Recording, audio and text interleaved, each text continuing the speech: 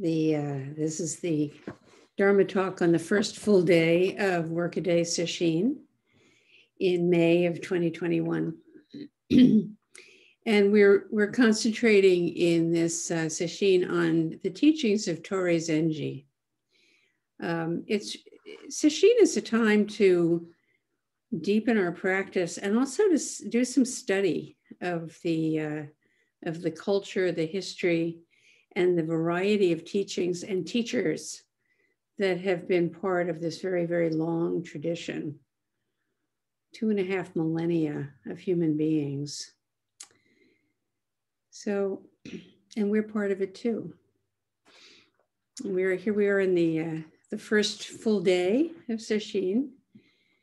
Uh, started this morning in the quiet early hours uh, with our full attention for an hour um, that started the day off. And I, I wonder uh, if you noticed any differences as you went through your daily round. In other way, other than it being sesshin, it's kind of an ordinary day. And uh, what what uh, we can right from the start notice any any effects of a slightly longer morning sit uh, some of us do that on a more regular basis and some not. So you can notice what, what you noticed. Folding our ordinary day's routine into sesshin is sometimes difficult, um, but usually it's also really well worth the effort. It's unusual. It's an unusual way to practice, um, to practice sesshin being able to approach work as samu, a full day of samu. Uh, so our life in the Zen spirit is part of the gift of this particular practice. Many of the classical koans arose from the situation where there are practitioners in the midst of their daily rounds who, uh, who encounter some kind of obstacle or question and um, koan is means public case. So it's, it's stories told of these exchanges between uh, students of the way and people who have been practicing for longer and have their, hopefully, Dharma eye a bit opened, a bit more open than the student.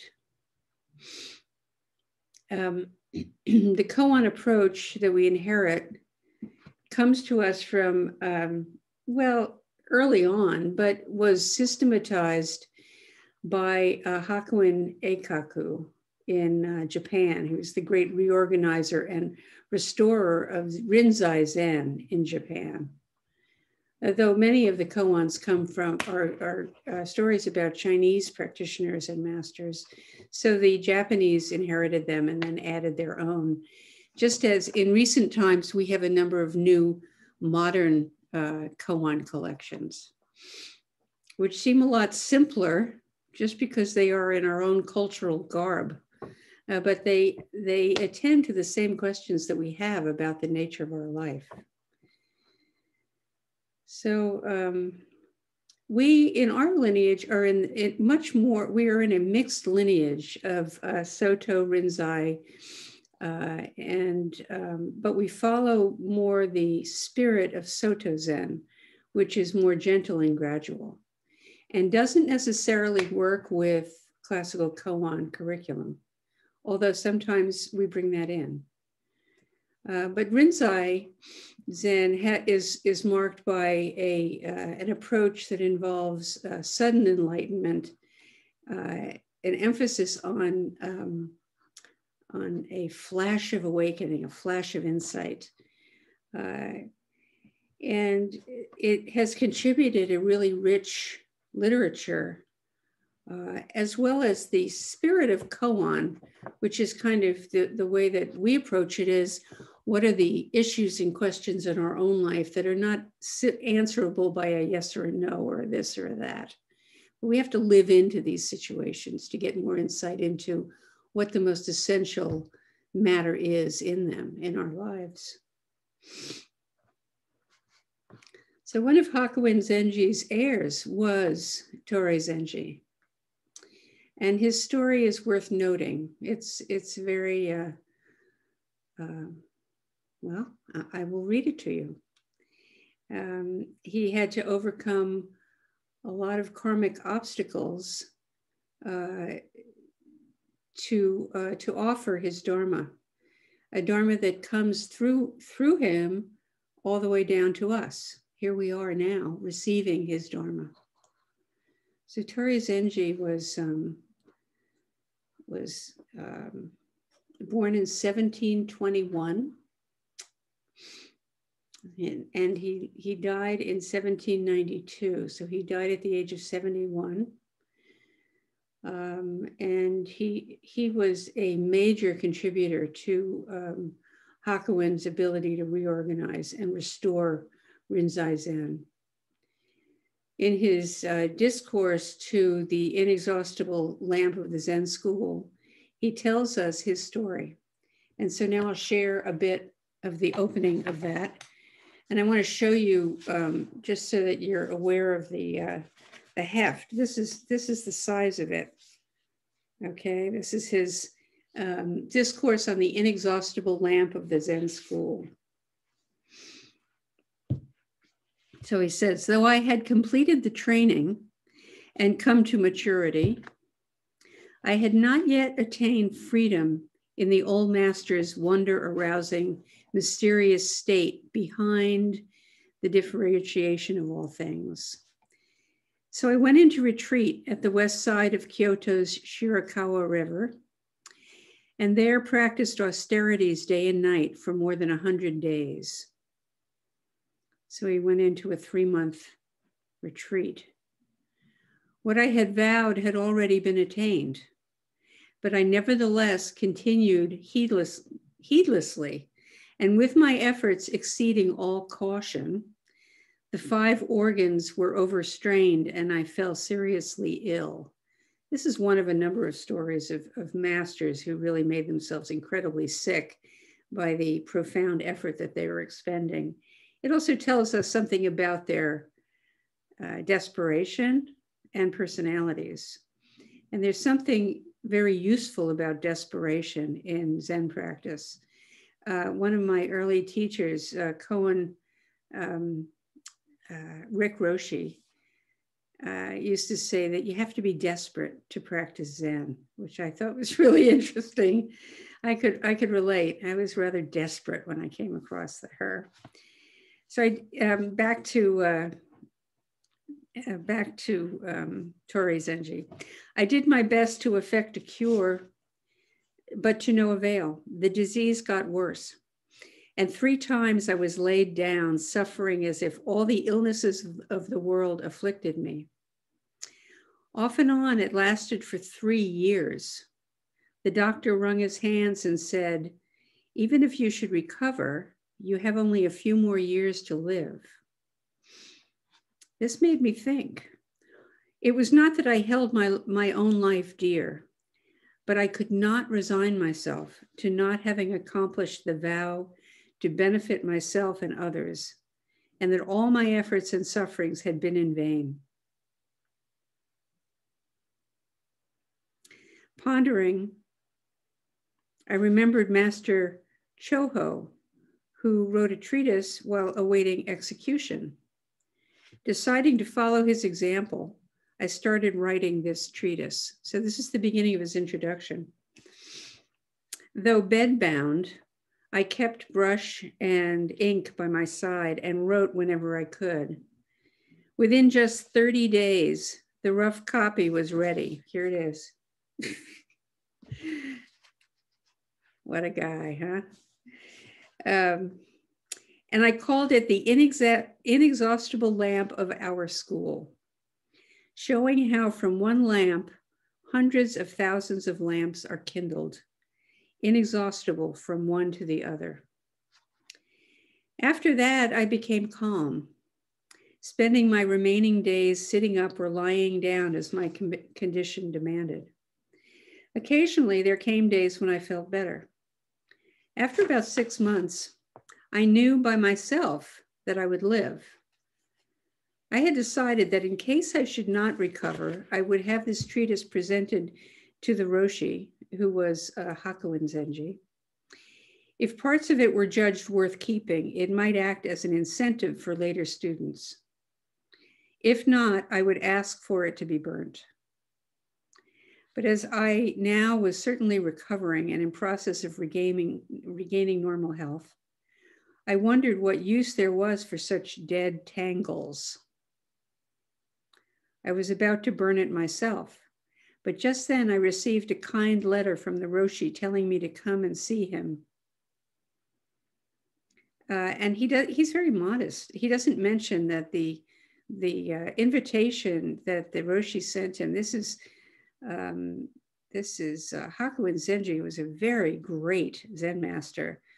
Gave him transmission. He called him to his room in the middle of the night and gave him transmission, which was is quite a quite a uh, an honor and a recognition of the depth of Torei's insight and the confidence that uh, Hakuin had in his ability to carry on the Dharma full strength and pass it on. But what, what uh, Torei says is after having seen him in the Sanzen room, we talked and this treatise was mentioned. The master looked through it and told me that it would be useful for later students and that I was not to burn it. So I kept it stored away for a long time. Now, upon repeated requests from various followers, I was obliged to give in and agree to have it published. But written words can be a source of entanglement as well as of liberation. Unless the right person takes it at the right time, the elixir turns to poison. Please be careful and do not take another's insight as your own. If you deviate from this stern injunction, you miss my intention. On account of my protracted illnesses, I was unable to do any revision. How could such a book become a standard text? Time will decide. It was written by Fufuan Enji, and that was his literary name, in September 1750 at the country house called Mumon in Asakusa, Musashi province.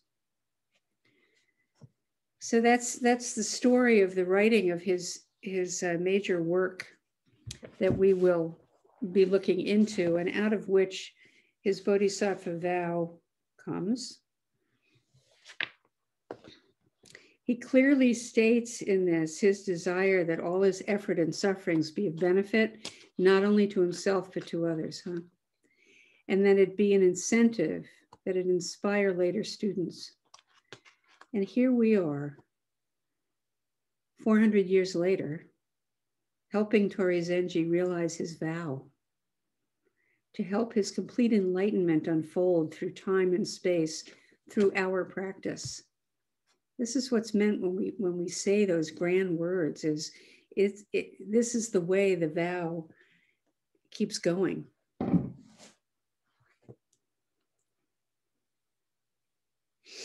so the inexhaustible lamp of the zen school lays out zen training in japan uh, the treatise goes through step by step what zen training is about why it is as it is and uh, sets out the stages of the development of insight, all of which need to be fully explored and realized for ourselves before Dharma is fully opened.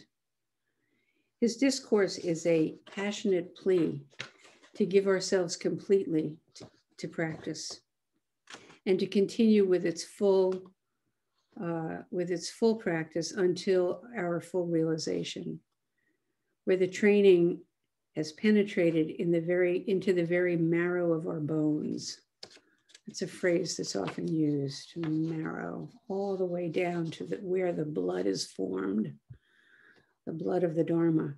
We've got it in our body and in our mind and in our heart, genuine, not dependent on words or anyone else's words.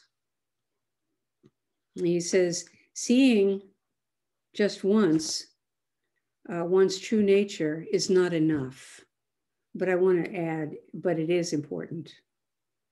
Uh, the Tibetans say, one of the Tibetan teachers say, the most important moment in a person's life is the moment when uh, the arising of the thought of enlightenment occurs. And what that means to me is when we have an inkling of wholeness, of peace, deep peace in our heart. But he says, seeing just once into one's true nature is not enough.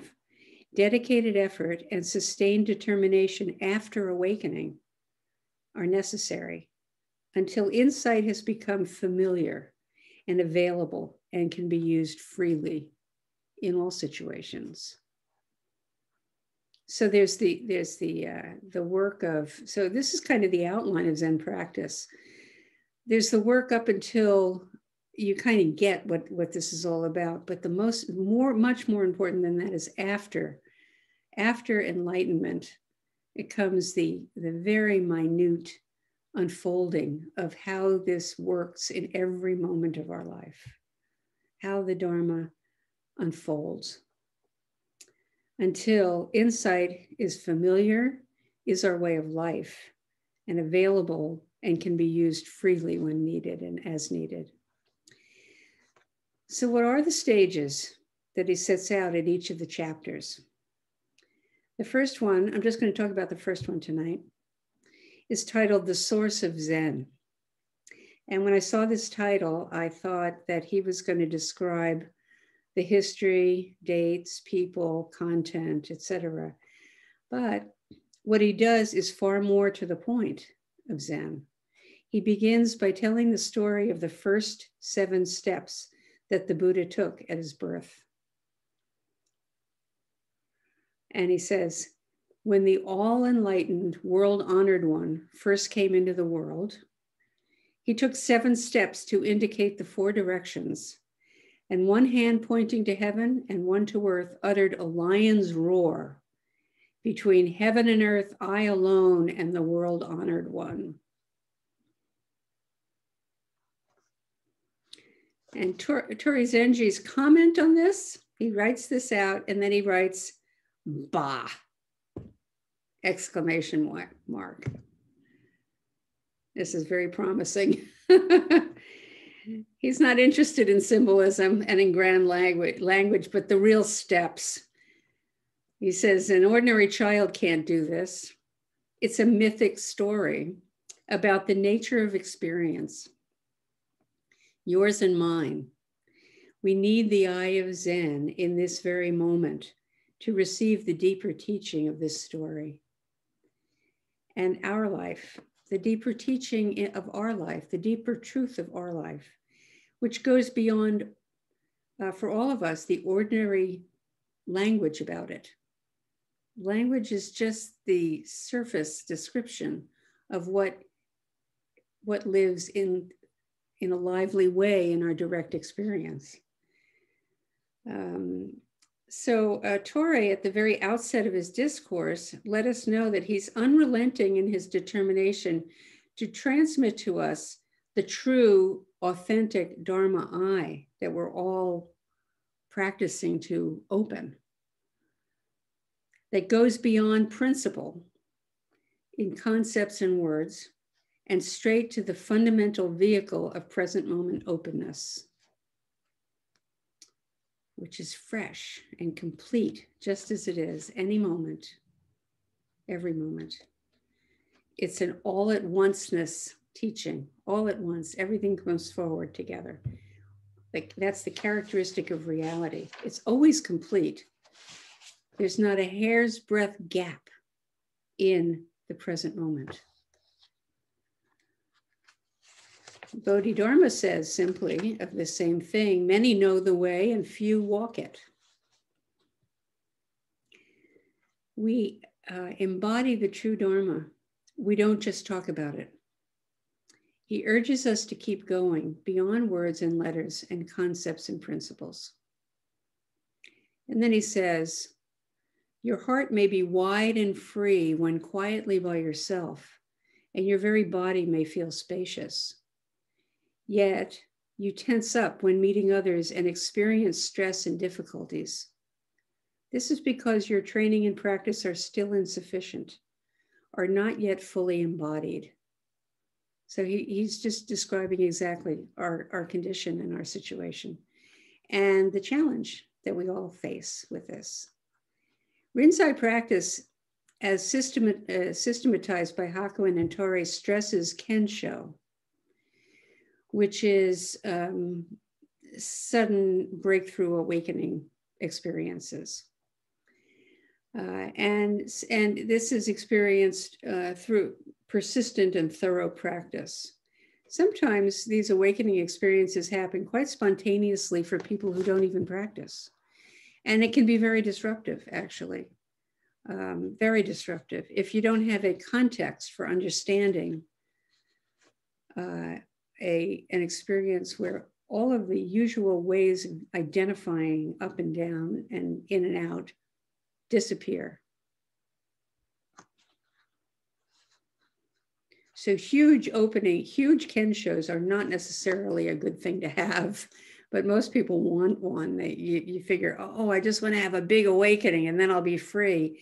It's not actually the way it usually goes, unless you have been practicing for a long time. And if that's the case, you've probably had many, many, many small openings. So um, it's not a matter of um, counting, you know, it's not, that's not what it's about. So um, let's see, where was I? Yeah, so so opening the Dharma eye is not a uh, it's not about intellectual understanding or scholarship, which is always interesting to those of us who find it interesting, but it's not necessary. Um, but it the uh, the opening is it happens when uh, reasoning is exhausted and the words fail. When you see into your true nature, into the true nature of everything, the restlessly questing heart calms down and everything drops off. It's not so hard. It's not, nothing has to be so hard anymore. With Kensho, whatever swims into view, which we talk about as the relative world of form, objects, and things, it's seen in its true nature.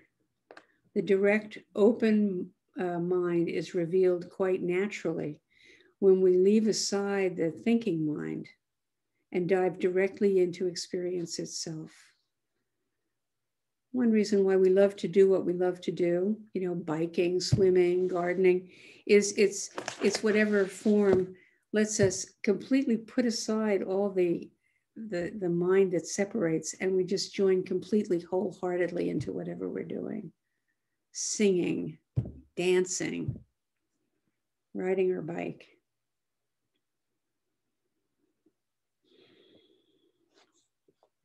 Torei Zenji wrote a poem Ah, the frog. The very strength he jumped in with is also the strength that buoys him up, that buoys him up. There is one life, moment by moment. There's always just one life unfolding, impermanent, interdependent, and truly wondrous beyond the knowing of ordinary mind. So I want to uh, share a, another story that he he uh, goes into in this chapter. Excuse me.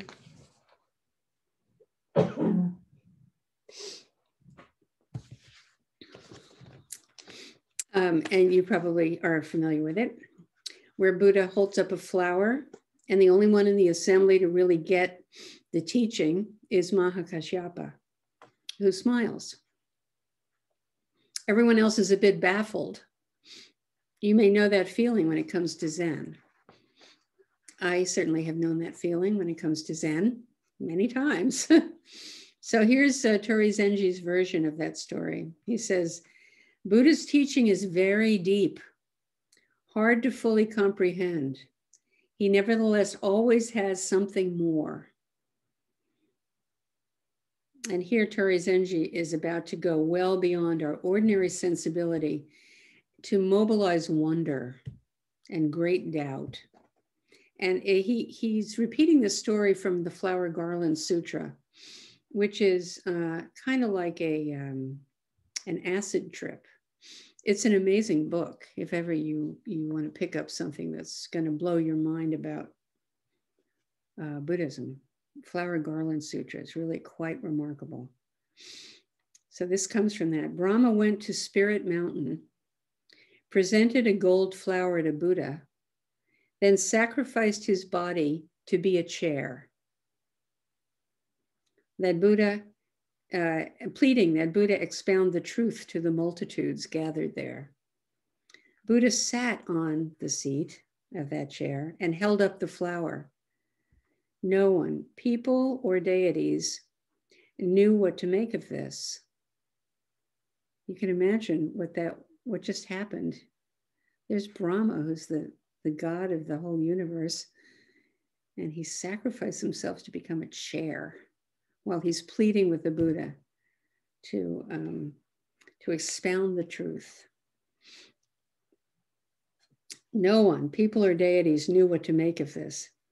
There was a golden faced ascetic in the crowd who alone broke into a smile. The world honored one said, I have this treasury of the eye of truth, which I entrust to the elder Kasyapa. So Kasyapa could see that it was just being demonstrated. The, the truth of Dharma, of impermanence, of interdependent arising, of no of, of uh, interchangeable time and space was all being demonstrated. So in his chapter on the source of Zen, we travel in the many realms of direct experience. Uh, it's a long chapter, it's filled with stories. The ordinary and the dreamlike nature of our experience blend, as it does when we pay really close attention to the reality, our reality, our experience, when it is not impeded by our thinking mind our habituated way of limiting what we let in and what we notice. You may have had some of these experiences where you're not sure, what, what is this? Toward the end of the chapter, in which he lays out a variety of methods that the Buddha taught with, Torei Zenji is asked a question Why didn't the Buddha teach Zen first instead of expounding so many doctrinal principles? That's a really good question.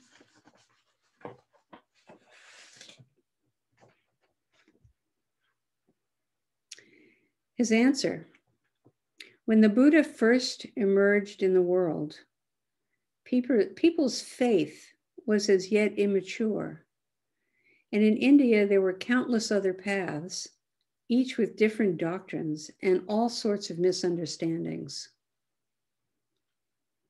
just like now, today. it's amazing. It's amazing. Thousands of years ago and thousands of miles away, and millions of other people involved. But today we have all of these different spiritual paths that are offered and at our fingertips anytime at websites and podcasts and books and magazines and our friends who were going to this retreat and that workshop, right? And it's true that Zen is not for everybody. It takes a certain tolerance uh, for uncertainty and inquiry to be free enough from obscurations and hindrances to be able to sit with one's own mind and heart without freaking out or turning away. Uh, we had a uh, you know, we've all felt, I think we've all felt this at some point or other. It's like, ah, get me out of here.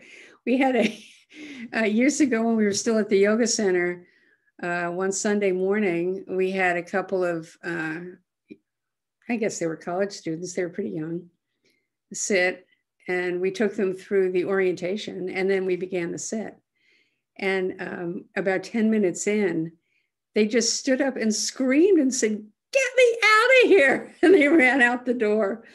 And everybody was uh, just raucously laughing because we could all we could all identify with, with that experience. so you know those of us who are not uh, are not cowed by that impulse um, we persist because there is something there's something to this um, we all do it in our own ways uh, we all do our own freak out to a lesser extent right uh, we all feel restlessness and judgment and doubt and desire and sloth and all the things that get in the way of being settled.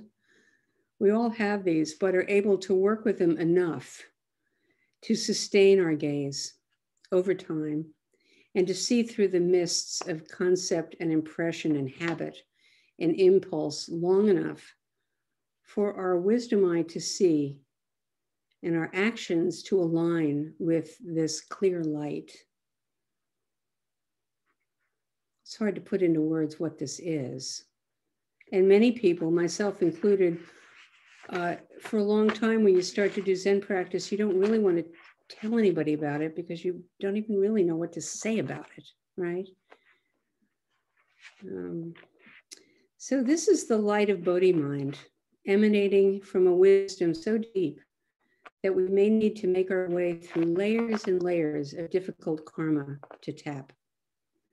Uh, but in the meantime, faith is what carries us long in the direction of awakening. And we'll be looking at uh, what Torei said about this in tomorrow night's Dharma talk. Faith, an inkling, however small, in intuition however it gets our attention, is all that it takes an inkling of possibility, a taste of Zen, refreshing, inspiring, and subtly simple, mysteriously radiant is how it's described in his um, Bodhisattva vow. Mysterious radiance. In this practice, we travel in awareness as the vehicle to where everything in our material culture is pointing away from. We go in the direction of. Our great Buddhist vehicle, our, our great, the great vehicle of the Mahayana, takes us only so far along the road. And then Zen points beyond the road into what is wide open and infinitely vital. Dropping everything. And that's what that's what Torei Zenji is urging us to do. Drop everything. To taste the freedom of this wide open, infinitely vital life. And then he says Zen directly tests the truth of enlightenment. That's a hefty statement. Uh, so it's something we can all ponder. Zen directly tests the truth. And actually, that's part of the, the Zen method. That's one reason why you you know you have insights and you study with a teacher if you really want to keep going in the practice because you want somebody to help you test and look at and shift and you see it this way and they can point it out in a different way and you just keep keep testing until you can see all the way through anything that catches you up. So this is an intro to Torei Zenji, who, who put together this Bodhisattva vow, which we will now chant. Let's do it.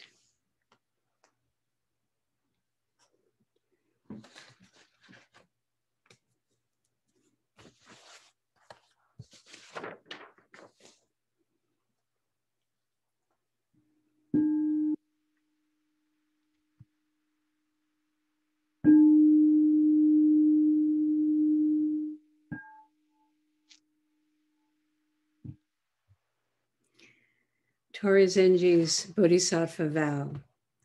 Disciples, when I humbly observe the true nature of things, All are the marvelous manifestation of the Tathagata's truth. Atom by atom, instant by instant, all are none other than this mysterious radiance. Because of this, our virtuous ancestors extended loving care and reverence toward even such beings as birds and beasts. How then can we be but humbly grateful for the food, drink, and clothing that nourishes and protects us throughout the day?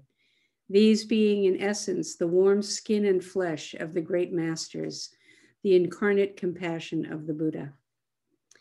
If it is so, even with inanimate objects, how much more should we be kind and merciful towards human beings, even those who are foolish?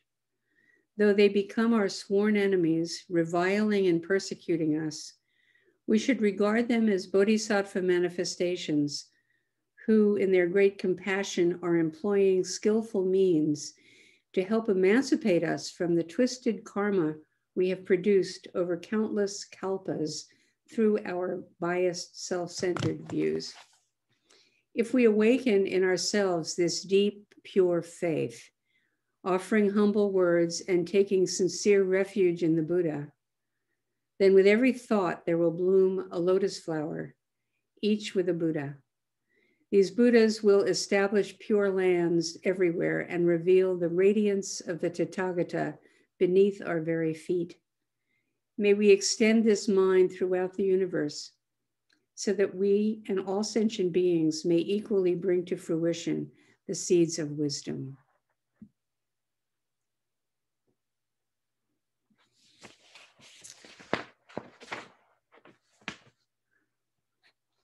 Our prayer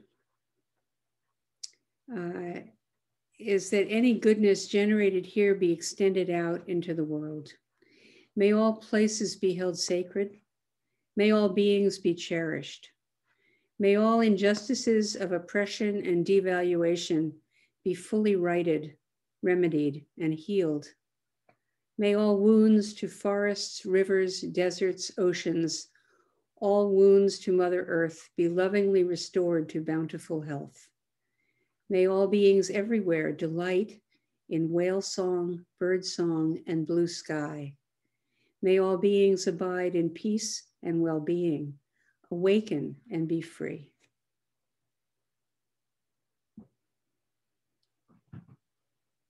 So if you need to, uh, to take five minutes and stretch, uh, we will resume.